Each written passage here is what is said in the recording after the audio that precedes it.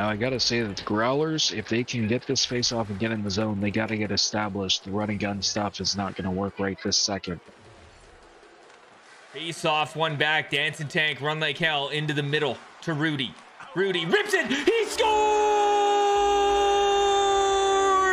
Rudy from the Growlers! Who else? Am I right, crazy? Wins it in overtime. I mean, I just finished saying they gotta get set up. The running gun stuff wouldn't do it. But I guess giving it to Rudy and letting him just fire it top shelf and throwing it in there, that, that works too. I mean,